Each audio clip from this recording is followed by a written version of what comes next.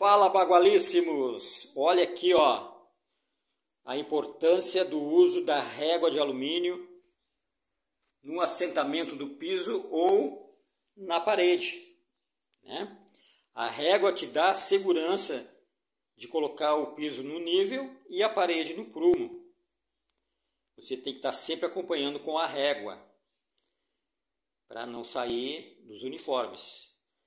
E é claro, bagualíssimos, usar nivelador de piso. Por que não? Se tem no mercado, né, bagual? Se tem no mercado, se foi criado é para isso. Ah, mas eu não usava no passado, o cara lá não usava no passado e dava tudo certo. É, mas lá no passado não existia formatos grandes, gigantes, como os que estão tendo agora, né? Eram formatos pequenos. Aí, ó, esse aqui mesmo é um formato pequeno que quase não existe mais. Ainda dá para sentar sem nivelador. Mas quando o formato é grande, não tem como.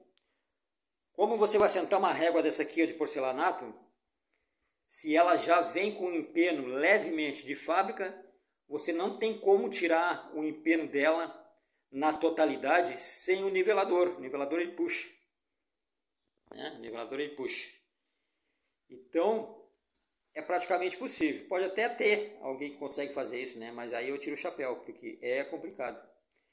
É muito complicado sem o nivelador mas a obra vai sair cara por causa da quantidade de nivelador.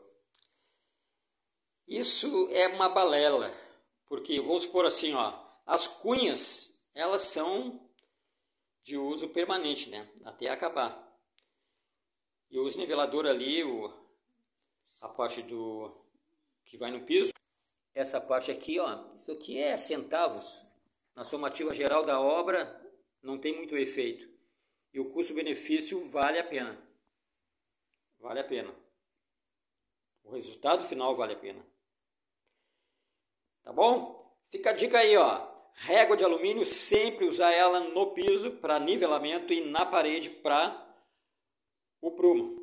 Né? Você não se perde. Vai assentando, vai colocando um nivelador, mas não confia muito. Vai na reguinha ali que você vai ir no nível, né? Tá lá o nívelzinho lá, em cima da régua. Se você tem uma régua, um nível comprido, melhor ainda. Forte abraço a todos. Não esqueçam de se inscrever no canal, bagualíssimos. E compartilhe o vídeo, deixa o like positivo ou negativo, tanto faz, só aí para a gente ficar sabendo o que está se passando na plataforma. E vamos fazendo conteúdo.